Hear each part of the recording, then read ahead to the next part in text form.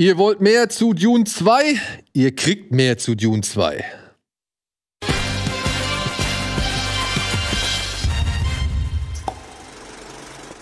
So, herzlich willkommen in unserer neuen kleinen Butze hier in der Videothek des Internets zu einer neuen Folge, nee, zu einer Extra-Folge Kino Plus. Ich sitze hier noch mit Vidan Tran und mit Marco Risch nach unserer letzten Folge Kino Plus, weil, ey, Vidan, du hast so viel geile Sachen gezeigt. Und du hast uns jetzt auch noch abseits der Kamera noch so viel geile Sachen gezeigt, über die wir gar nicht irgendwie großartig reden dürfen, beziehungsweise die wir nicht zeigen dürfen. Aber trotzdem wollen wir noch ein bisschen über Dune weiter reden, weil du hast noch ein paar coole Sachen, die du halt auch noch zeigen darfst. Und wir haben, glaube ich, auch noch ein paar Sachen, die wir am Film besprechen können. Wir werden dann wahrscheinlich irgendwann ein bisschen ins Spoilerige abdriften, aber das werden wir rechtzeitig ankündigen, um eben, ja, niemanden zu vergrätzen. Aber ich hoffe, ihr habt bis dahin schon diesen Film gesehen. Denn um es gleich nochmal auf den Punkt zu bringen oder beziehungsweise um unsere Meinung vom Donnerstag nochmal zu festigen, äh, ich habe ihn jetzt zweimal gesehen und es war zweimal ein Brett. Ich habe zweimal Gänsehaut gehabt. Ich muss nur sagen, ich war beim ersten Mal, ich glaube, ich bin morgens dann einfach auch immer in der emotional etwas leichter zugänglichen Verfassung. Ja, also da mhm. gehen gewisse Dinge mhm. mir mehr ans Herz. Als ich den jetzt gestern Abend um 19.30 Uhr gesehen habe, da war ich leider ein bisschen müde schon vom Tag und mhm. so. Und ich hatte auch schon, ich glaube, zwei Filme geguckt oder einen zumindest gesehen. Und ähm, da sind gewisse Dinge nicht mehr so an mich gegangen. Aber ich bin der felsenfesten Überzeugung, spätestens wenn ich mit meinem Sohn diesen Film nochmal mhm. schauen werde, werde ich es nochmal ganz anders sehen. Weil ich muss sagen, ich fand eine Szene im Dune relativ zu Beginn fand ich schon erstaunlich. Die hat mich emotional echt gekickt. Das ist äh, der Moment, da sitzt Ju, ähm, Paul mal irgendwann auf einer Düne und guckt so einfach über das Wüstenmeer und nimmt den Ring seines Vaters und lässt ihn so gesehen wissen, dass er jetzt seinen Weg gefunden hat. Und das finde ich, finde ich ein geiles Ding, weil wir wissen ja nach dem Film nicht so wirklich, ob der Weg der richtige ist, beziehungsweise ob wir wirklich diesen Weg auch so selbst mitgehen würden oder beziehungsweise selbst mitgehen mit ihm. Und ich fand das, ich fand das cool, weil man am Anfang noch die ganze Zeit realisieren muss, oder ich musste auf jeden Fall sehr viel realisieren. Ah, warte mal, wir sind ja hier eigentlich noch in der direkten Transition. Also wir sind ja noch mhm. direkt am Ende vom ersten Teil. So, er muss das ja alles noch irgendwie halbwegs verarbeiten. Das ist alles noch gar nicht so lange her. Durch unseren Gap von, was war es jetzt, zwei Jahre? zwei oder drei Jahre? Fast drei. Fast drei. drei Jahre, Kommt es einem natürlich so mhm. lang vor, so, oder beziehungsweise hat man da irgendwie ein anderes, verbindet man da ein anderes Zeitgefühl mit. Mhm. Aber ähm, als mir das bewusst geworden ist, dann, wie gesagt, da ist mir diese Szene echt nahe gegangen. Und das hätte ich eigentlich nicht gedacht, weil ich kann auch verstehen, anhand der Inszenierung, anhand, was du halt auch schon gesagt hast, dass der zweite Teil natürlich schon eine Menge Gas gibt, um eine möglichst viel mit reinzukriegen und Du hast uns auch von Dingen erzählt, die eigentlich gar nicht im Film gelandet sind, so, ja, obwohl sie, sag ich mal, einigen Figuren geholfen hätten, mhm. sie noch mal ein bisschen zu verdeutlichen, ein bisschen näher zu beleuchten und so weiter.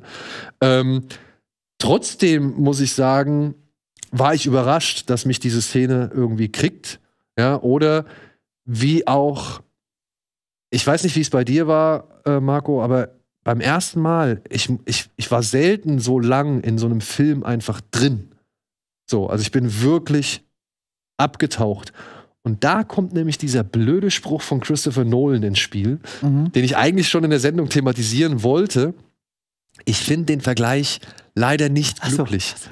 Ja, ich finde den Vergleich ja. mit Empire Strikes Back echt nicht glücklich, weil, und das ist nur das, was ich dazu sagen möchte, ich saß in diesem Film drin, ich saß in Dune 2 drin und das, woran ich wirklich gar nicht denken musste, was mir am wenigsten in den Sinn gekommen ist, das war Star Wars. Mhm. Und das hat mich so gefreut, weil ich Dune als Dune wahrgenommen habe. Dune ist seine eigene Welt. Es ist wie Herr der Ringe, es ist wie Star Wars, es ist von mir aus auch wie Fluch der Karibik, ja, und oder Planet der Affen mhm. oder die Nolan Batman Filme.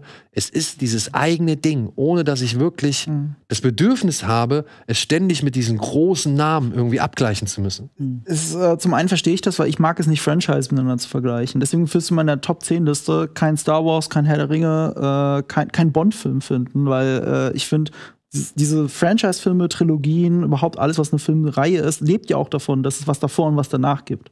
Ne, also auch Empire Strikes Back könnte ich nie da reinsetzen, weil was ist der Film wert ohne den davor und ohne den danach? Oder was das Star Wars-Universum mir noch gibt. Deswegen mache ich das normalerweise nicht. Man muss aber jetzt zu Nolans Verteidigung sagen, er hat da aber schon Dune 1 mit Star Wars gleichgesetzt. Er hat gesagt, wenn Dune 1 Star Wars ist, dann ist dieser Film, also Dune Part 2 für Part 1, das, was Empire Strikes Back für äh, Star Wars ist. Ah, okay. Das ist schon mal der eine Vergleich. Ja. Der andere kommt aber dazu, ich habe schon sehr oft an Star Wars gedacht, aber nicht, aber nicht, weil die zwei sich so ähneln, also weil Dune so von Star Wars profitiert. Natürlich war Star Wars zuerst auf der Kinoleinwand, aber es ist schon, okay, man sieht schon, wo George Lucas abgeschrieben hat.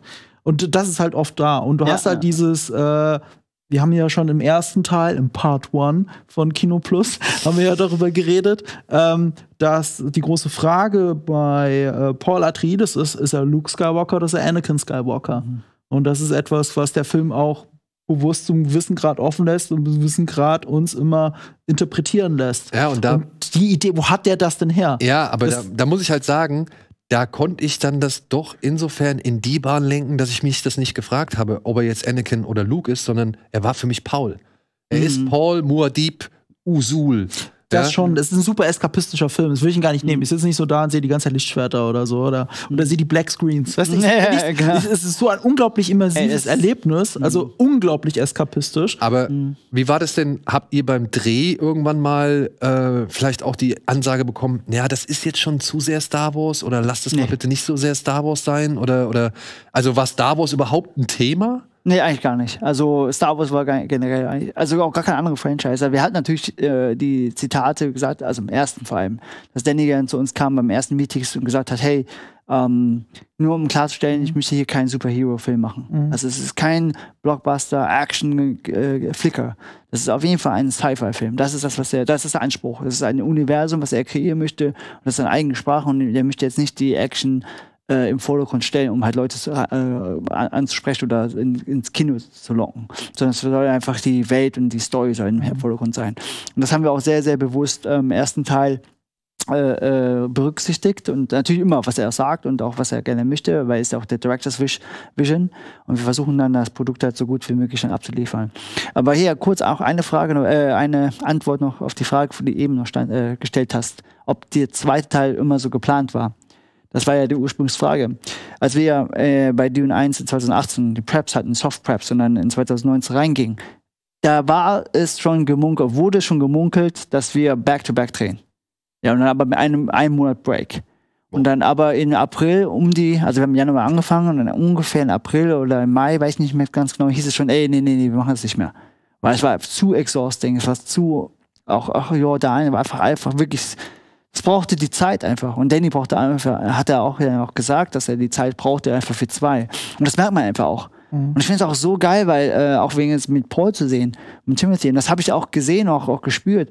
Im ersten Teil, wie er eben schon letztes Mal erwähnt, er war schon recht nervös und auch sehr unsicher, obwohl er schon Star ist. Und dann auf einmal, das ist aber auch die, die Figur in Dune 1. Und dann in Dune 2 ist da jetzt der Messias oder ist jetzt ein Mann. Und da merkte man auch, der hatte auch, auch schon Filmerfahrung gehabt. Der Wonka hat er gedreht und andere Sachen noch. Und das hast du einfach gespürt, dass er viel erfahrener war. Auch beim Training selber. Er war auch ganz anders. Ich dachte jetzt, okay, der wird jetzt nach Dune 1 Erfolg, wird der bestimmt jetzt cocky, muss ihn wieder abholen, so, ne? Aber nee, im Gegenteil. Also er war wirklich cool. Also das Einzige natürlich war, dass Austin Butler, also Fate, ist gerade auch eine super Einleitung ist gerade da, der war, er ist so ein toller Schauspieler und auch ein krasser Athlet, muss man sagen. Also er war Ey, der, der, das Kreuz von ihm. Boah, Alter. ja. Das hat er sich krass. antrainiert auf Ja, die Dune alles, 2. alles, Ja, ja. genau, genau. Also- Das gehört doch alles Ja. an sein Method Acting da rein. Ey. Ich frage mich wirklich, wie man diese, diese Bäume ja, da hinten nee, der, Rücken kriegt. Ja, der Ich war, der hat ein Training, Ich habe gerade erst gelesen, dass er sein Method Acting runtergeschraubt hat. Auf 30 Prozent runter, immer wenn, immer wenn die Kamera Mhm. aus war. In dem Moment, weil normalerweise gehst du ja dann nicht komplett raus, also zumindest interpretieren Method Acting viele Schauspieler so, das ist eine Mhm. ganz andere Diskussion. Und er hätte so auf 30 Prozent runtergefahren, damit er nicht der letzte Soziopath ist und ein Arschloch zu allen anderen am Set.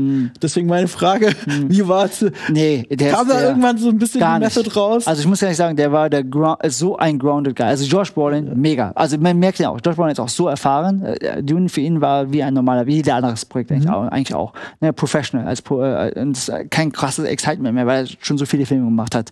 Und der war auch so ganz relaxed beim Training, immer top, also top notch und auch immer spot on. Genau wie Rebecca auch. Ne? Also die zum Beispiel, sie muss halt gar nicht da sein, aber die kommt immer zum Training. Sie will immer nur Ich wollte gerade fragen, Das ist so krass. Woher Ja. kennst du Rebecca? Nee, nee, also die, war- die, die war immer da. Die, war, also die hat einen Tag hier und dort ein paar Szenen gehabt, die wir proben müssen, aber also im zweiten Tag waren die weniger da, aber am ersten, die war fast jeden Tag ist sie da, weil sie liebt einfach diese Aktivität. Und dann hat sie gesehen, dass wir, was wir für Training wir machen und sie hat dann das, das gesehen, was sie, dass sie noch lernen kann. Und dann dachte, geil, die wollte ein Teil dabei sein. Und die kam jedes Mal zum Training.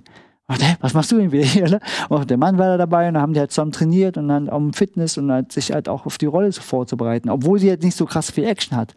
Das ist halt Das ist auch, ne? wunderbar. Das ist wunderbar. sie war im ersten noch relativ aktiver als Figur, ne? hat auch hier gemacht und getan und in die Wege geleitet und irgendwie ein bisschen mitgezogen, die Strippen so. Im zweiten Teil, da ist sie am Anfang, da fand ich diese eine Szene, wenn sie das, das äh, Wasser trinkt. Wasser, Water, Water. Ja, die fand ich. Warst du da dabei? Äh, ne, also ich meine, also wie, es ist auch witzig, wir haben das äh, gepreviewst. Wir hatten, äh, äh, weil es war die Frage, wie wird es aussehen? Und wir hatten natürlich zum Glück Maida, das ist ja auch aus, aus, die kommt aus Tschechien, das ist eine Stunt-Performance, die war auch schon im ersten Teil der Double. Und äh, wir haben Konzepte gemacht. Und dann auch ein bisschen mit äh, Contemporary und ein bisschen Bewegungsmuster. Und sie ist ja sehr stark, die ist auch auf dem Back, äh, Tanz-Background. Und auch Martial Arts natürlich. Und mit ihr haben wir erstmal Konzepte gedreht. Und wir haben einen, ich glaube, es war ein oder zwei nur, ein paar Movements gemacht und äh, super geile, also Naked-Aufnahme, ne? So eine schöne Kamerafahrt ein bisschen und dann siehst du halt nur das Performance, was sie macht. Und dann direkt hieß es, ey, das ist es. Genau das. Nur mit dem Scale müssen wir gucken. Also wenn, äh, entweder zu Zombie oder ein bisschen weniger, ne? Aber das ja, kann man ja scalen, das ist ja kein Ding. Aber die meinen, es ist es. Und dann äh, ist es die Szene Ey, geworden. die Szene, also wie, wie Rebecca hart- Ferguson da Hammer. spielt, ey, das ist, finde ich, großartig. Ähm, aber ja, wie bei Paul, wo die Kamera sich distanziert und er mehr in die Aktion übergeht, als nur zu reagieren, ist es bei ihr dann irgendwann, wo sie vorher noch ein aktiver Part war, wird sie immer passiver und steuert nur irgendwie aus Mhm. Ja. dem Hintergrund Ja. raus, ja, was natürlich dann auch mit ihrer Schwangerschaft Ja. und so weiter zu tun hat. Aber ich fand trotzdem krass, sie hat am Anfang kriegt sie noch die Szenen, um sich mal irgendwie ein bisschen zu zeigen, zu beweisen und so. Und später ist sie natürlich halt eben so eine Art, wie soll man sagen, ja, da wird sie halt so auf den Podest gestellt, im wahrsten Sinne des Wortes, sowohl von der Geschichte. So Mastermind. Ma- ja, genau, Ja, so genau. Mastermind, ja, also da wird sie halt von der Geschichte Ja. auf den Podest gestellt, aber der Film macht es dann halt auch, weil sie nicht mehr so wirklich in der Aktion ist. Aber diese. Aber der Film macht auch deutlich, dass die Person, die wir kennengelernt haben, Lady Jessica, dass die eben nicht mehr da ist. genau. Ja, ist genau, genau, im Moment genau. auch- Ja, ja, ja. Anders. Ja, und hier nochmal zurück zu Austin. Also, nee, er ist so grounded. Unfassbar. Also, ich, ich, hätt- ich habe noch nie, also für mich, ich habe schon einigen Stars auch schon trainieren dürfen und er wird auf jeden Fall einen zu den Top 3, den ich jemals hatte. Also, der ist einfach so ein grounded Dude gewesen, so cool.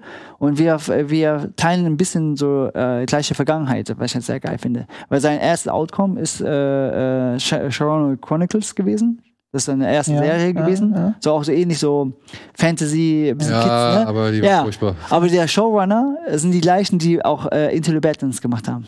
Ah, okay. Und er war das ist sein erstes Lied-Ding gewesen. Und für mich war mein erstes, nicht Lied, aber erste Outcome, also International war auch äh, äh, Into the Badlands. Das Ja, sind die gleichen Showrunner. Und dann haben wir natürlich auch zusammen ein Video gemacht und dann den geschickt. Und die liegen mir sehr viel im, im Herzen, genauso wie äh, für ihn. Und das war so ein bisschen Bonding, was wir dann hatten. Das fand ich eigentlich ziemlich cool. Und nee, Training, er wollte einfach mehr, immer mehr. Der kam halt und der ist so schnell. Der hat eigentlich die Choreo fast in 20 Minuten schon gelernt. Und ja, es- das, was ich euch gezeigt habe, das hat er fast in 20 Minuten schon geschafft. Also so der, der finale Kampf. Ja, genau, der finale Kampf. Und das war einfach, boah, krass. Also, das macht, einfach Spaß, wenn du mit solchen Schauspielern hast, ne? Dass sie auch immer besser machen wollen und und und auch uns, also wir als Fight-Team auch, ne, dass wir da sagen können, hey, äh, nicht nur, okay, mach mal ein bisschen hier und so, sondern wir können sagen, okay, bam, bam, bam, da, wir arbeiten nicht nur um das Choreo, sondern auch, auch Rhythmus und Melodie. Und das macht halt immer im Kampf alles halt aus. Und äh, weil Danny auch gerne auf Speed steht, also auf schnelle Hände und auch ähm, äh, äh, flashige Sachen, also nicht flashig vom Movement, sondern vom Bild und von Power, von Gewalt, von der, von der, von der äh, Körpersprache, hat der super geil umgesetzt. Und das passte einfach perfekt in seinen äh, Charakter. Gab es einen, der es so gar nicht drauf hatte? Also beziehungsweise bei dem man wirklich echt äh, mit Engelsgeduld irgendwie dem alles zeigen und erklären und Du musst Also- keinen Namen sagen. Ja. aber nur halt nur einfach Ja, mal. also die reinen Interesse. Aber meinst du jetzt im Film oder meinst du generell was, wo ich naja, also jetzt sowohl bei Dune, aber auch generell.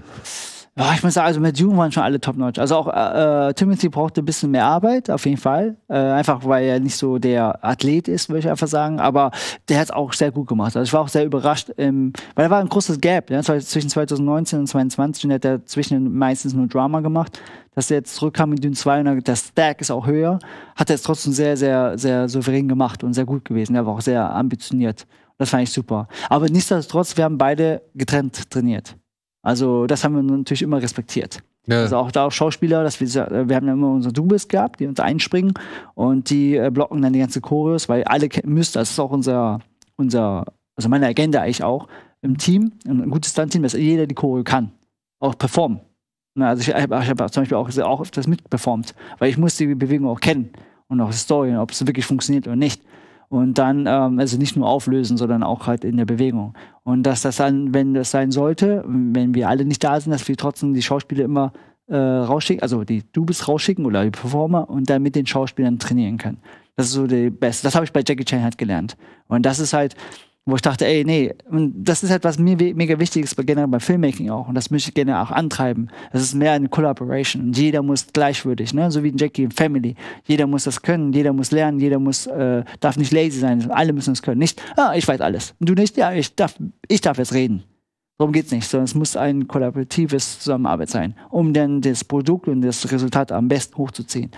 Und dann auch geht es um Vertrauen. Ja? Und das, du schickst ihn raus, du drehst und dann, genau, äh, äh, wird dann so gut wie möglich gefeilt, um das Beste zu erreichen.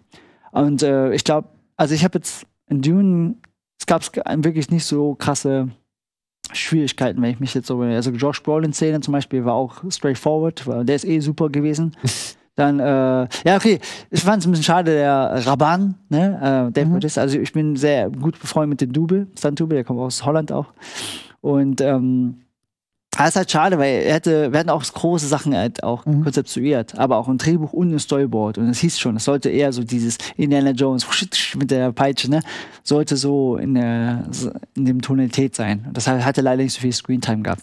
Also du ja. bist enttäuscht, weil nicht viel passiert genau, ist. Genau, nein, nein, der war super. Ey, der ist ja, ja. der Ex-Wrestler, der kann ja alles, ne. Mhm. Da brauchte gar kein Training eigentlich. Gucken, ja, okay, wirklich, der Pop, nee, es war einfach, das ist einfach, die Szene war einfach, also so war er immer schon geschrieben halt so, ja.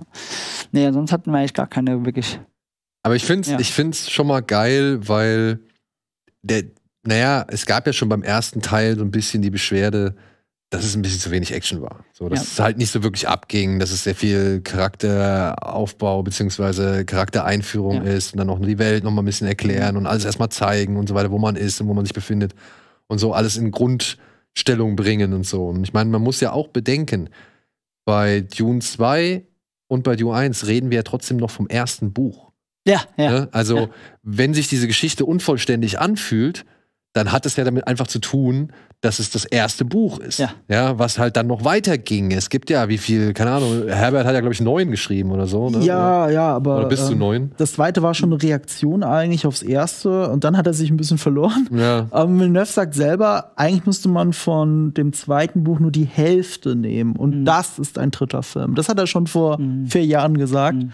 Und du hast ja selber gesagt, es war ja nicht klar, ob das jetzt so Back-to-Back -back oder irgendwas passiert. Genau. Ich erinnere mich, dass er am zweiten Drehbuch schon gesessen hat. Da gab es noch kein Greenlight von Warner mhm. Brothers, aber er hat schon dran gearbeitet. Und jetzt gerade dieselbe Situation. Es gibt noch mhm. kein Greenlight, also stand jetzt kein Greenlight für einen dritten Film. Aber er, schreibt aber er hat schon was zu Papier gebracht, hat ja, er gesagt. Ja. Nee, aber hier, wir hatten nochmal da anzuschließen. Am zweiten Teil, wie gesagt, als wir es erste Mal wieder äh, äh in den ersten äh, Preparation-Wochen, da hat Danny ja auch gesagt, hat, ich glaube auch, der hat auf die äh, Zuhörer, äh, auf die Zuschauer gehört mhm. und ein bisschen reagiert auf die Feedback und auf Review. Und er hat ja selber gesagt, Dune 1 war gut, aber noch nicht ganz zufrieden. Und 2, damit ist er mehr vollständig.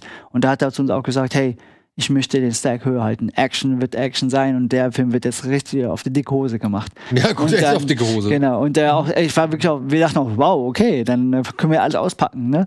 Und das zweite ist halt, äh, gab es Situation, als wir, wenn wir ähm, äh, Show and Tell hatten, dass der, man, der, der tendiert manchmal drum, ja, vielleicht schneiden wir hier äh, cutten wir es ein bisschen kürzer, ne? Ten, äh, machen wir es äh, mehr kompensieren, ja, tighter.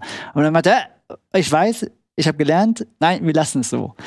es war so geil, wir, okay. Und das war sehr cool. Aber ich bin auch einer. Also ich muss ehrlich sagen, auch wenn ich ein Action-Guy bin, ich kenne diesen Prozess. Und manchmal musst du einfach eine Kill the Baby. Du musst einfach, oh, kill Darling. Du musst es, damit das als Sacrifice einfach besser und intenser, inten, also intensiver wird in der Szene, ist es, finde ich, auch wichtiger, wenn man das compressor macht. Ja, aber ich sag mal so, da hätte ich also rein actiontechnisch habe ich bei dem Film überhaupt keine Beschwerden mehr. Ja, Klar cool. hätte ich gern mehr von der Endschlacht noch gesehen, so.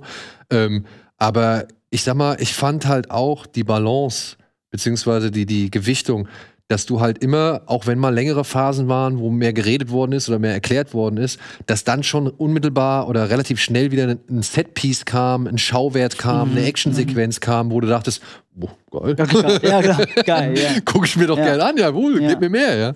Nee, voll. Ähm, ja, Krasser was war Gänsehautfilm. Ja, also eigentlich ja. ein Gänsehautmoment nach ja. Ich muss also auch sagen, und das waren auch, das waren auch so wirklich so. Ich fand den Tanz von den beiden äh, sehr schön. Also wenn wenn Chani ihm erklärt, ja. wie er richtig laufen ah, soll, ja, ja, das fand ich eine super Szene. Die fand ich schon beim ersten Mal richtig cool. Ich mochte auch ihren Moment auf der Düne, also wo sie halt wirklich näher kommen. Ähm, also ich fand, es gab sowohl schöne, coole, ruhige Momente, wie halt eben auch die großen epischen mm. Momente, ne? Wenn, wenn Garni da die Treppe, was man im Trailer, im ja. sieht, wenn er diese Treppe hochkommt ja. und hinter ihm die Flammen dann irgendwie hochgehen, ja. so. Ähm, das da war schon einfach, ey, das sind Coole so Bilder, ja. geile Bilder. Wegen jetzt auch den, äh, also das Epische nochmal äh, aufzugreifen. Also die Warm Riding Szene, die hat mich wirklich am Ende sehr, sehr krass geflasht. Also das als vollständig zu Gänsehaut pur. Ja, das Ding haben wir echt, äh, wir haben zwei Monate dran gedreht. Second Unit, alleine. Wir haben jeden Tag gedreht. Zwei Monate lang. Und wie hat und man das Also dieses ganze Moment in der Wüste einfach. Nee, nee, also das, nee, äh, nur das, meinst du jetzt? Nur das, nur, nur Warm Riding. Ja, aber die Szene oder nur das nee, Riding? Nur das Riding. Nur das Riding. Wenn, sobald er das rausholt, das Ding, und er anfängt zu laufen, ja. das und dann das Hängen, zwei Monate lang. Und wenn er ridet. Zwei Monate, jeden Tag. Es ist unfassbar. Und, und was hatte es man? Also hatte man dann eine Art Wurmattrappe oder was? Äh, ja, nee, wir hatten ähm, also durch äh, Gerd Netzer, das ist auch der Special Effect. Äh, ja, der dir auch beim letzten Mal die Oscars. Oscar, Oscar genau, zweifach Oscar. Die haben, äh, am Montag haben wir uns gesehen bei der Premiere. Es war ein, äh, wussten wir, ein super Surprise. Wir haben uns auch super gefreut, eine Reunion zu haben. Genau, er hat, er und sein Team haben ein, ähm, ein Wurm-Plattform, mehrere Wurm-Plattformen gebaut. Die sind recht groß. Also, ja, auf jeden Fall größer als das Studio. Und äh, da werden, äh, es gibt mehrere Sachen. Es gibt eine, die hier steht, dann können die riden und da wird eine riesen Windmaschine und übertrieben viel Sand wird geschossen. Ey, könnt ihr euch vorstellen. Weil alle unsere Freunde, die stehen da und denken so, oh Gott, was machen wir hier? einfach mit dem Sandstrahl. Ey, einfach, ey, wirklich. Die kamen wieder und irgendwie war der Tag. Frag nicht. Frag nicht. Und das Gesicht einfach so richtig mit der Brille und so, ne? Mega witzig. Wir müssen mir so totlaufen. Weil ich weiß noch, einmal, einmal im Set, ich war rum, ich, ich war indoor, irgendwas am Koordinieren, ich weiß nicht mehr, war bekam ein Break. Und dann äh, fahre ich mit dem Scooter im Set rum und gucke ich, okay, such mal, wo die anderen Leute sind eigentlich. Ne? Gucke ich so, und dann sehe ich da äh, so ein Mülleimer-Kostüm vom Fremden auf so ein Ding. Aber ich, hä, wer ist das denn? Also ein Kumpel, der ist Sefer. Und der andere hat so riesen, äh, so ein so ein, so ein Käfer-Rucksack an. Ne? Also die, sind ja, die Fremden sehen ja ein bisschen aus wie so Käfer und ein bisschen Sand-Design äh, äh, halt ähm, ein bisschen ähm, inspiriert. Und dann sitzen die da den ganzen Tag und werden die ganze Zeit von diesem Sand halt abgeschossen. Ne? Aber es ist ein riesen, du kannst dir gar nicht vorstellen, so ein riesen, äh, so, so, so ein riesen Ventilator, ne? Und den ganzen Tag nur Sand. Und die dachten sich, oh Gott, wie lange geht das noch? Und äh, aber je, zwei Monate haben wir dafür. Wir haben einmal den hier, wir haben einen, der vibriert und richtig schlägt halt, ne? so richtig so ein Gimbal. Und dann wir eine Schräglage. Dass da, wenn der runterrutscht, genau. Und ich muss eigentlich sagen, ich, ich war jetzt leider, leider, ich bin ja mehr eigentlich kameratechnisch als sehr, äh, ähm, fungiere, fungiere ich eigentlich mehr in einem Film, bei dem war ein bisschen weniger. Aber ich durfte äh, einen Trailer-Shot machen. Ja? Also mein Shot ist dann, wenn wir runterrutschen, also wenn Paul die Düne runterrutscht. Ich bin die Kamera, die hinter ist. Oh, geil. Und dann rutschen und dann, äh, genau, mhm. also auf dem Wurm. Das ist äh, äh, mein, also ich hätte nicht gedacht, weil beim ersten Teil habe ich auch einen Shot gemacht mit äh, Jason Momoa's Double, als wir, wenn wir runterkommen zu, äh, zu Akis. Aber den oh, haben wir das? Haben wir das hier? Ja, ich habe ein Bild, glaube ich, genau, genau. Das war äh, 65 Meter Höhe. Und den Shot ist leider auch, der ist komplett raus. Also war nicht im, Trailer, äh, im Film drin. Ja, weil genau. den, ich weiß noch, als wir. Genau, genau, das war die Szene. Das war Dune 1 jetzt hier, da sind wir runtergerutscht. Die Szene, das war halt eigentlich der Angriff. Den gibt es leider nicht mehr. Also die Szene gab es auch nicht mehr. Da, wenn Jason Momoa ähm, warte mal, wenn die angegriffen werden, bevor Auf jeden Fall, bevor er natürlich stirbt, ne? Und da gibt es eine Szene, wo der runterrutscht, gab es eigentlich noch mehr Action. Okay. Ah ja, genau, wenn der, äh, wenn das, wenn das angegriffen wird und der, der Doktor, ach, wie ist er mal? Äh, when? Ja, aber Ja, der, der, genau. der wird er Hui, vergiftet, hui. ne? Und dann äh, stürmt er raus. Und Josh Brolin später am Krieg äh, starb. Ja, diese Szene, da ist eigentlich die Szene, wo du runterrutscht. Und ich habe noch, glaube ich, ein Foto noch geschickt. Ähm, äh, da bin ich auf 65 Meter Höhe in Jordanien, Ja. im Kran. Und dann, äh, da landet der äh, Charakter ähm, Das war ja etwas, ich weiß nicht, haben wir das noch da- hier, das äh, Bild mit dem Dank Kran? Idaho ist das, glaube ich. Ähm, das war ja etwas, das hattest du uns ja dann hier Ja, da genau, als genau. Alter. Ja. Wohl, weil da habe ich dann im Film, im ersten Teil, echt drauf gewartet. Ich weiß noch, du hattest, du hattest uns dieses Bild gezeigt Ja, ja. und hast gesagt, ich hänge da an diesem Kran dran. Genau. Genau. und, und, und äh, ich glaube, da ging es darum, um die Saduka abzuseilen oder so. Äh, nee, nee, es ist äh, Duncan Idaho. Der kommt da runter. Der landet das erste Mal. Das ist eigentlich auch super, super schade. Die Szene gibt es auch eigentlich. Dass der, äh, es ist Duncan, ja, Duncan Idaho, ist das, ne? Ja. Er spielt ja. Dass er äh, unter den Fremden lebt. Und das Ja. ist die Szene, wo der das erste Mal auf die, äh, auf die, auf das Planeten kommt. Ah, okay. Ja, aber da gibt es auch eine Szene, wo der abspringt. Ja, genau. Ja, und dann ist da, spielt das dann da. Äh, Kann es sein, dass die auch Ja. mal in einem der Trailer war? nee, der Schatten Nee, nicht. Der, Ja, nicht okay. nee. Weil ich hatte Nee. nämlich irgendwann mal in Erinnerung noch gehabt, dass es irgendwie so ein Bild gab, wo Leute aus irgendwie so einer Art Landungsschiff rausspringen und sich dann auch so Aber abseilen. das ist nicht Sadoka, glaube ich. Ja, das ist, Das auch, ist das, das, ist das andere Szene, genau. da. Das gab es Ja. auch noch. Weil auf den Das- Shot von dem Kran habe ich wirklich im Film gewartet. Ah, Wann ja. denn? Das, So das, schade. Das, das Ding ist leider, So. Deleted Sachen werden wir nie sehen, Nee. weil Villeneuve neulich noch mal bekräftigt hat, er mag keine Deleted Genau. Scenes. Äh, das Genau. Produkt, so wie es ist, ist halt fertig Ja. und das, man will nicht an diese Illusionen rütteln. Also werden die nicht veröffentlicht, die Genau. Deleted Scenes. Ist ja auch schade, auch deswegen dürfen wir Total. Previews. Normalerweise sind wir immer ein bisschen offener. Ne, Also wenn, sei es zum Beispiel bei Halo oder bei Sensei und Shang-Chi, da haben wir ein paar Sachen immer posten dürfen. Aber hier ist auf jeden Fall ganz klar, alles, was da kre- kreiert wird in dem Haus, bleibt da auch. Weil wir eventuell mit den neuen Sachen oder alten Sachen dann Sachen recyceln können oder neu nutzen könnten. Okay. Für den Weiterfilm, genau. Ja. Das ist echt schade, aber ja, es bleibt eine schöne Erinnerung, halt, welche Sachen, ganzen Sachen sehe. Auch zum Beispiel auch diesen halben Wurm und, halt- und Lorenz Hideyoshi ist der Double, der erste Double, oder der hat echt alles gemacht für, Lo, äh, für, für Paul Atreides. Und der hat äh, eigentlich vollständig halt die ganzen zwei Monate lang die, halt die Warm Ridings gemacht. Und auch, ich finde das so krass, auch wenn die Szene, wenn er läuft auf der Düne, ne? Ich war da, also das habe ich auch mit begleitet. Hab, also natürlich nicht mein äh, Feld gewesen, weil es ja eher Stuntzeit war. Aber ich war da, da ein bisschen aufzunehmen und zu gucken, zu checken, ob alles okay ist mit ihm.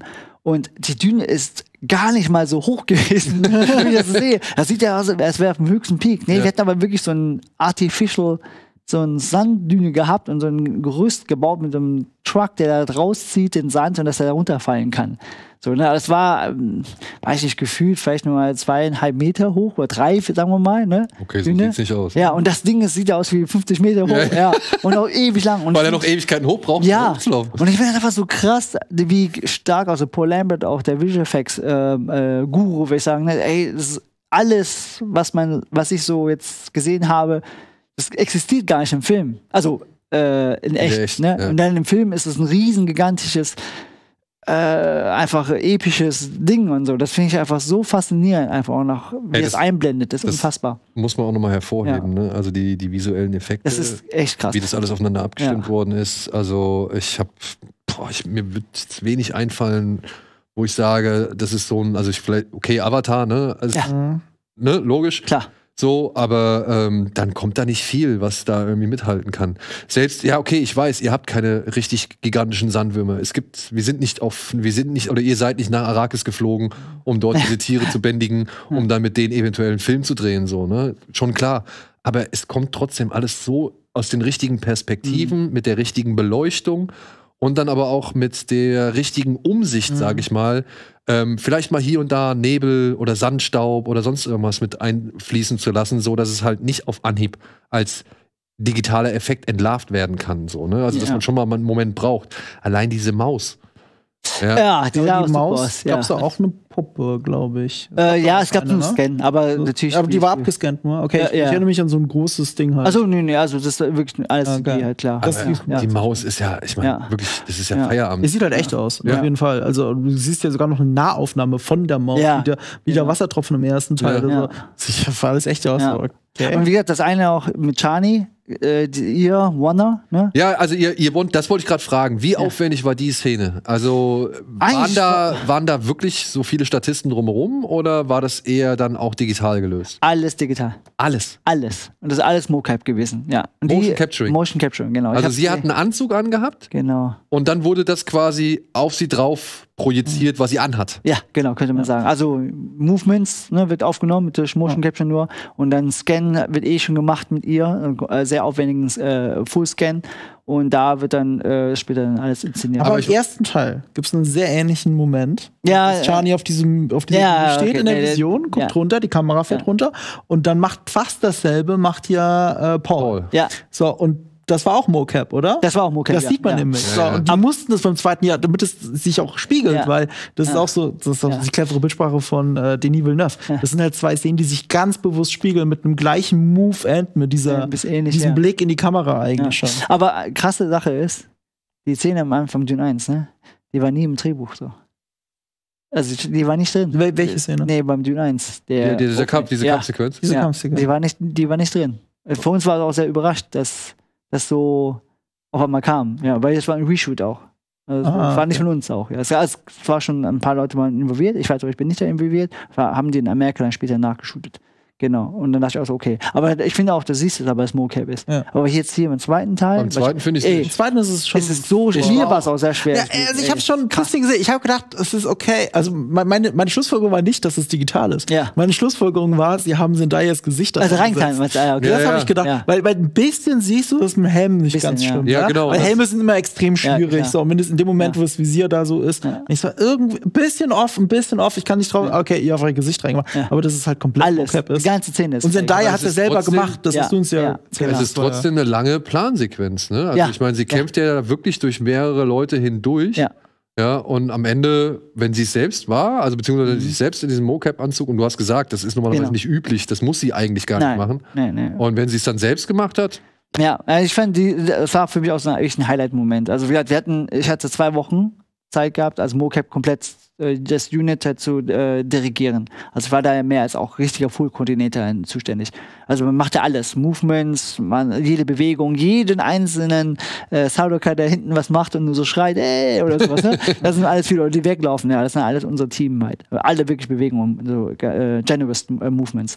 Und dann plus aber auch die Choreos um halt Coverage und generell auch größere Weiten dann zu zeigen, die wir damals am On Day nicht geschafft haben. Und dann hieß es natürlich auch Zendaya Action. Okay, cool. Also Chani Action, nicht Zendaya, sondern Chani Action. Und wir hatten natürlich unser Double da, um halt die Movements ungefähr zu matchen, dass es auch sehr äh, female auch aussieht. Äh, und auch ein bisschen elegant und so. Und dann hieß es aber direkt von Zendaya aus, ganz oben. Nein, sie will es selber machen. Und wir dachten, öh, krass, okay. Aber eigentlich ja, brauchst du es ja nicht, weil äh, man sieht ja ein Gesicht ja eh nicht. Damit, nee, ich möchte es selber machen. Das ist Anspruch. Dann ich, okay, geil, sehr geil. Und dann mussten wir äh, bedauerlicherweise, aber auch natürlich, freu- also natürlich war ich trotzdem erfreut, äh, unser Schedule ein bisschen hinten schieben, Platz machen, was eh schon sehr tight war, und den ganz großen Block dann freimachen für sie. Und dann kam Making Off und so, und dann hat sie es sehr, sehr, sehr sehr gut gemacht, sogar besser eigentlich als ein Double, würde ich sagen. Und nee, hat echt super performt, weil einfach ihr Charakter reinkommt, ihr Movements, ne, ihr Be- äh, Körpersprache war einfach drin. Und das war einfach super, äh, für mich auch eine super Erinnerung und sie hat es einfach top gemacht. würdest du sagen, das war die aufwendigste Szene für deine Arbeit oder für deinen Teil, äh, Anteil am Film? Mm, Nee, nee, nee. Was war die nee, Das war eigentlich eine der einfachsten. Das Duell hattest du, glaube ich, erwähnt, oder? Ja, also der, der Opening Fight und der Final Fight, das waren die zwei wirklich intensivsten, spannendsten auch Arbeit für mich, weil wir hatten, ich sagte, April waren wir da, Drehbeginn war im Juli ungefähr. Und das heißt, wir hatten drei Monate äh, Preps und in der meisten Zeit haben wir eigentlich nur Schwerpunkt auf diese zwei Fights gesetzt. Also der Opening Fight, damit meinst du den Angriff auf den Harvest? Ach, ne? ach sorry, nee, äh, Fate, Fate Anzug, äh, Fate. Sorry, wir, wir haben mit dem, ähm, dem Kampf haben wir angefangen. Also Fate äh, Rauders äh, erster Kampf in der Arena. Das war da einer der größten, ähm, äh, ich sagen, Goldstücke. Und dann der Final Fight. Die zwei äh, mussten wir äh, schnell preppen. Und der, der, also Day One auf Shooting war auch der Fate Fight. Ja, in Ja. der Arena? Ja, und das war für alle, und auch für mich sehr, ich war sehr, sehr nervös, weil erster Day sollte man eigentlich, eigentlich immer ein bisschen soft anfangen, ein bisschen Drama, dann überzieht man eh immer alles und dann muss man eingrooven. Aber direkt mit so einem dicken Ding anzustarten, war ich, uff, krass. Ja, aber ist auf jeden Fall sehr gut gelaufen. Ich schätze mal, die Arena war komplett digital, oder? das ist digital, ja. Aber ich hatte eine Frage. War die schon immer schwarz-weiß geplant? Ja, genau. Ja, ja. Und das, das Lustige ist, es ist eigentlich gar nicht schwarz-weiß. Es ist Infrarot. Ist Infrarot. Es Ne, ist da- wirklich Infrarot. Linse, hab- alles. äh, Nein. Da, da habe ich mich gefragt, da habe ich mich nämlich gefragt, weil äh, du, man sieht es ja an den, an den entgegengesetzten, die Frauen kommen Ja. mit ihren schwarzen Ja. Roben ins Licht Ja. und dann wer- werden aus den schwarzen Roben plötzlich weiße, Ja. wo ich gedacht habe, das kann nicht einfach sein, indem du halt Ja. schwarz-weiß irgendwie das genau. Ding äh, verwandelst. So. Das geht nicht, das, das, das haut nicht hin. Und da habe ich mich gefragt, wie haben sie es gemacht? Und weißt du, ob sie es on the fly gemacht haben? Weil es gibt ja einmal den Übergang, da kommt, glaube ich, Wladimir, Ja. äh, kommt so aus dem Hintergrund rausgefahren und geht halt auf Ja. den Balkon raus und das Licht verschwindet dann halt in Ja, dem Moment, genau. beziehungsweise es wird halt alles weiß. Genau. Ähm, haben die das in einer Bewegung gemacht oder ist es dann nachträglich bearbeitet? Also äh, bei dem denke ich schon, auf jeden Fall. Ich, äh, ich denke mal, dass das schon so war. Aber wir haben, also schwer zu sagen, ich, also soweit ich jetzt nur rausgehört habe, wir haben, die haben immer gesagt, wir haben, wir haben extra Infrarot-Linsen an der Day.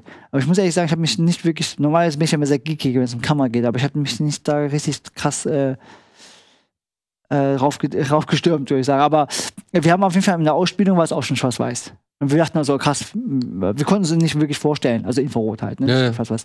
Und dann konnte ich mir gar nicht vorstellen, wie das aussehen soll, oder warum und so. Aber es war schon sehr spannend, das so zu sehen, ja. Ich fand es einen geilen Ich fand es sehr, sehr geil. Ich sehr geil. also ich habe es auf Anhieb nicht unbedingt geblickt im Film, ja. äh, aber ich fand es dann, als ich dann irgendwie mal, mal so realisiert habe, dass man halt hier zwei Lichtverhältnisse Mhm. hat, äh, fand ich das eine geile Idee für Giddy Prime. So. Ja, ja. Und vor allem auch als Worldbuilding. Ist Ja. mal geil, die Sonne fällt anders, ne? Das- Der Planet funktioniert einfach anders. Auch die supergeilen äh, Feuerwerkeffekte. Ja, ja. Was ist das? Aber es ist mega geil. Sowas als Sci-Fi, als ne, so ein bisschen. Ähm, Ich hatte das, das war äh, so der Eindruck, Effekt ist super. als ob du mit, mit, weiß nicht, du hast so einen Pinsel mit Wasserfarbe und den Genau, so in so ein genau, Wasser. genau, ja, ja. und das halt angespeedet. Ja, so ja. ungefähr sah das dann irgendwie Ja. teilweise aus. Aber Ja. ich fand, das war halt auch eben für eben diese andere Welt nochmal Ja. ein geiler Effekt, der in die Andersartigkeit unterstrichen hat. Ach, äh, sorry, ich, Ich, ich, fand, ich fand erst, äh, fand ich fast überstilistisch und ich hatte irgendwo mal die Kritik gelesen, im Prinzip zieht er dann Zack Snyder ab. Aber eigentlich ist es, ja, weil Zack Snyder ja auch sowas gerne macht, aber es ist ja nicht einfach nur schwarz-weiß, ne? Es Ja. ist halt Infrarot, Ist es gibt ja diese ja. Übergänge, ne? Das Tor geht auf, er ist ja im normalen Licht, in diesem künstlichen Mhm. Licht im Tunnel, ist ja alles ganz normal. Aber in dem Moment, wo die Tür aufgeht, Mhm. wo das Tor aufgeht, in dem Moment fällt das Sonnenlicht auf ihn drauf und dann wird so schwarz-weiß. Und dann wird klar, ah, okay, das ist ja wirklich der Planet. der Planet, genau. Und da, genau. das ist ja wieder, das ist wieder außerweltlich. Ja. Sowas, sowas wollen wir ja eigentlich. Wir wollen ja Genau. nicht nur Wüstenplaneten Ja. nur noch sehen. Da haben wir seit 1977 sehr viele gesehen. ja, genau. Ja, und, äh, Ja. und das ist, das ist schon toll, eine geile ja. Idee. Ja. Um hier nochmal äh, an- anzustoßen wegen äh, Giga und die ganzen Artworks, ne? Mhm. Das ist genau so. Und ich finde es so witzig, wir mussten es manchmal richtig hardcore besicken. Weil ähm, das Tor, wenn Fade rauskommt, ne? Das ist eigentlich eine riesengroße. Ne? So ein, Ah, okay. und okay. äh, als Artwork, als wir es gesehen haben, das- das kann doch nicht ernst, also das kann doch, es muss doch ernst, also so wirklich so gemeint sein. Das ist wirklich ein Riesending so halt, ne? So. Eine Vulva. Ja, genau, ne, wo, perfekt ausgedrückt. Ey, es ist so witzig, ich muss halt da lachen. Oder auch die ich hoffe, das war jetzt ja. das richtige, das Und, richtige äh, Wort Die dafür. Bildsprache ist Ja. in Alien 1 immer noch Ge- sichtbar. Genau, ja, voll, voll. So. Und auch, äh, äh, auch super witzige Story mit der Bazooka, da konnten wir uns auch nicht mehr halten. Weil die Bazooka-Design, da ist ja so ein Griff zum Halten. Mhm. Normal, wenn eine Bazooka hätte so. Ja. Und äh, aber ne, da, wir haben die Ansage bekommen, nee, diese Bazooka wird so gehalten. Und das Ding, was da vorne ist, sieht einfach 1-1 aus wie ein großes Ding mit so einem Pfeil halt, ne? Und äh, Ich weiß nicht, was du meinst, aber ich werde Weiß jetzt nicht, darauf ich achten. nicht Ich werde jetzt wo achten. dachte- Ich sehe weil- am Chani, wieder. Ja. Ja. bei Chani in der Szene, wenn der Bazooka kommt und schießt. Normalerweise in der Bazooka, wenn du so hältst, Ja, ja. was ganz normalen Ja, Untergriff ja. halt, ja. Ja. Und bei dem hieß es aber ganz klar von dem Propmaster, dass wir es nicht so halten. Okay. Ja, und dachten wir, okay. Und dann auch, der, ich weiß noch, in dem Moment, in Sandaya, als wir gesagt haben, äh, ja, sorry, das musst du leider so halten. Dann haben wir den so und dann sieht es halt so aus halt, ne? So wie ein großes Ding halt, ja. Und das ist halt mega witzig. Es ist mega witzig. Also sieht es im Film auch so aus? Oder Ja, nee, so die, aus, die, wenn man so nee, die hätte so. Okay. so. Aber du Ich ich drauf. weiß nicht ganz genau, ob du im Film genau siehst, weil es halt so schnell geschnitten wird. Ja. Ne? Aber ohne du halt die, die, die, die Ja, im Film muss Bazooka ich sagen, ich ne? glaube, da siehst du es nicht ja, richtig. genau. Wenn du, wenn du es so siehst und erstmal verstehst, Konzept, wie das Ding einfach gebaut ist und Mhm. dann das Teil, halt designmäßig, dann denkst du, ah ja, okay, Gi- Giga hat hier wieder zugeschlagen. So Mhm. Ja, das ist schon witzig. Aber ich finde das geil eigentlich, weil das ist einfach so ein durchdachtes Konzept einfach in allem. Also das Kostüm, Art, Artwork äh, oder auch vom, vom Set und auch die Waffen halt, ne? Finde ich einfach spannend. Ich finde auch, man merkt, sehr, sehr spannend. man, ja. man sieht diesen Film, man merkt diesen Film an. Alle Departments geben wirklich Vollgas. Ja. Also ich wüsste jetzt nicht irgendwo, wo man sagen könnte, ja, hier war vielleicht. Ich muss sagen, das ein, die einzigen Outfits, die mir nicht so gefallen haben, das waren die tatsächlich dann von Irulan und von dem Imperator. Ach so, ja. Ja, also da, da fand ich, das war jetzt alles, das, das wirkte so ein bisschen eindruckslos im Vergleich zu all den anderen Kostümen und so weiter, ja. Und Aber wenn man passt zu dem Haus. passt zu dem Haus, Ja. Will Ding. ich auch nicht abstreiten, aber ich fand halt diese Robe, die Christopher Walken Mhm. gerade äh, gegen Ende des Films anhat, da dachte ich so, die hinterlässt so keinen richtigen Eindruck. Die ist so, Mhm. wie er selbst, äh, eher so ein, so ein Schluck Wasser in der Kurve, so, ja. Mhm. Aber, ey, es kann nicht alles perfekt sein, aber ich habe ihn jetzt, wie gesagt, auch zweimal gesehen und ich werde mir auf jeden Fall, glaube ich, noch zweimal mindestens angucken. ja, sehr geil, sehr geil. Und äh, ich, ja, wie wir es jetzt schon mal festgehalten haben, das sind Sachen, für die wir ins Kino gehen. Und deswegen, ich bin halt wirklich froh, dass ich diese Star Wars Vergleiche gar nicht erst angestellt habe, sondern mich da vollkommen frei von machen musste. Mhm. Das ist der Wüstenplanet, das ist Pauls Geschichte, die entspricht nicht Lukes Geschichte oder Anakins Geschichte unbedingt so, sondern ja, die haben vielleicht, ne? Das ist ja, das gleiche wie, wie bei gesagt, es, es geht nicht nur ums, es geht nicht nur ums, ums, ums, ums Thematische, es geht auch um den Vergleich im Verhältnis zum ersten Film. genau. Und ich glaube, ich finde den auch besser als den ersten. Wie gesagt, der Ja, ja. fantastisch. Der, der, Ja, das, ja, das, auch. das sehe ich vollkommen. Da bin ich auch vollkommen bei Nolan, bei dir oder bei allen anderen, die Empire Strikes Back sind. Von der Art des, des, des Teils her ist das vergleichbar mit Empire Strikes Back, beziehungsweise verstehe ich, woher der Vergleich herkommt. Aber es ist halt für mich, Gott sei Dank, nicht Mhm. ein Versuch, nochmal Star Wars zu machen nee, nee. sondern einfach was Eigenes geschaffen. Mhm. Ja, und das mit ey, auf allen Gewerken, sag ich mal, oder auf in allen Bereichen auf dem höchsten Level, was man irgendwie gerade momentan kriegen kann. Und dementsprechend, Leute, geh ins Kino. Ja. Ich weiß, Mhm. wir dürfen schon nicht mehr so lange machen. Äh, wir wollten hier noch einen kleinen Zusatztalk machen, aber ich glaube, jetzt haben wir, äh, jetzt haben wir aber auch wirklich fast eine Stunde insgesamt über Dune 2 geredet. Ey, wie dann? Ich danke dir vielmals. Ich soll dir auch von Eddie sagen, du sollst unbedingt noch mal wiederkommen. Ja? Okay, cool. Wir müssen ja auch noch mal ein bisschen über deine Jackie Chan Vergangenheit und so Ah, weiter ja. sprechen. Ja, das ist ja auch. Ich hätte zum Beispiel sehr gerne noch mal über The Foreigner mit dir gesprochen, Mhm. weil ich weiß, dass du damals bei dem Film echt aktiv warst und den mag ich sehr gerne. Mhm. Den mag ich sehr gerne. Deswegen, also ich hoffe, du findest demnächst noch mal die Zeit. Und dann würde ich auch mit dir noch mal vielleicht äh, diese ganze Diskussion noch mal anschieben, wie man Stunts bei den Oscars auszeichnen sollte. Oh, okay, krass. Das ist, glaube ich, hart, nämlich auch das- noch mal Ja, ein Thema. Das ist Ja. echt noch mal ein Thema, äh, weil ich finde es jetzt ja spannend, dass das Casting so gesehen eine Oscar-Kategorie Mhm. wird.